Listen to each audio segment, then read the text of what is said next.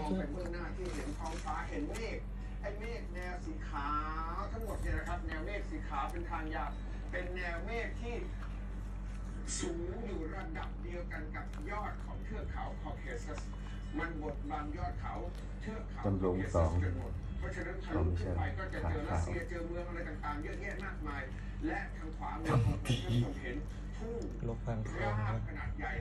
ประชาชนในเมื่อพันกว่าปีที่แล้วนะครับ เวลาที่ไม่มีข้าศึกศัตรูมาเนี่ยเขาก็ลงมาทำไร่ไถนากัน มาปลูกบ้านปลูกช่องอยู่ข้างล่าง และเมื่อมีข้าศึกมาก็หนีเข้ามาอยู่ในป้อมข้างบนนี้นะครับ เพราะฉะนั้นในป้อมนี้ก็จะอยู่เฉพาะชั่วคราว แล้วก็เมื่อ 200กว่าปีที่แล้วถึงได้มีการตั้งบ้านเมืองที่เห็นเป็นหลังคาสีส้มเหล่านี้นะครับ และเมืองนี้นะครับเป็นเมืองแห่งความรักครับคุณผู้ชมครับที่นี่ มีอาคารส่วนที่สองประกอบพิธีสมรส24ดำสนิทนะครับเพราะฉะนั้นหนุ่มสาวชาวจอร์เจียไม่ว่าจะอยู่รัฐไหนภาคไหนจังหวัดไหน ก็จะต้องมาแต่งมุงากนกัมุนกที่นี่ให้ได้ครับ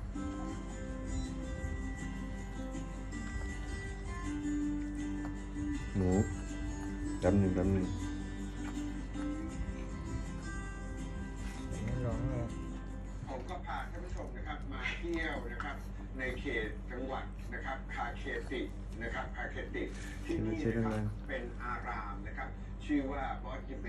พระอารามแห่งนี้เนี่ยนะครับเอ่อค่อนข้างมีความสำคัญ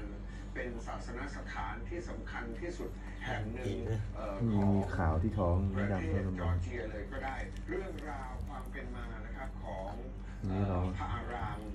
บอดเบย์บอดเบย์แห่งนี้เนี่ยนะครับ ซึ่งอยู่ในเขต จังหวัดเนี่ยนะครับคาเคติเนี่ยนะครับ ก็เป็นเรื่องราวที่ย้อนหลังขึ้นไปนะครับจนถึงประมาณไม่ถ่ายว่าตัวพูดตรงไหน880โดยประมาณนะครับก่อนหน้านั้นด้วยซ้ำดินแดนตรงเนี้ยนะครับทางภาคตะวันออกเฉียงเหนือเอ่อของประเทศจอร์เจียเนี่ยเราถือว่าท้องมีเป็นขาดินวแดนเอ่อซึ่งประชาชนที่นี่เป็นพวกเพเกนไม่เห็นร้องเลยเพเกนก็คือพวกนับถือลัทธินอกศาสนาแต่มันก็แข็งแรงดีศาสนาพื้นบ้าน